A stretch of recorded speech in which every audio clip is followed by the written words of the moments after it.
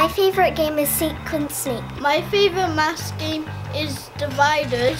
My favourite maths game is Bond Bubbles. It helped me with knowing my addition off by heart. We use quite a wide range of Purple Mash maths games. We predominantly use them in our openings to our maths lessons where we might find a game that's linked to what we're doing in the maths lesson and we play the game just to get the children geared up, ready for what we're doing in the lesson.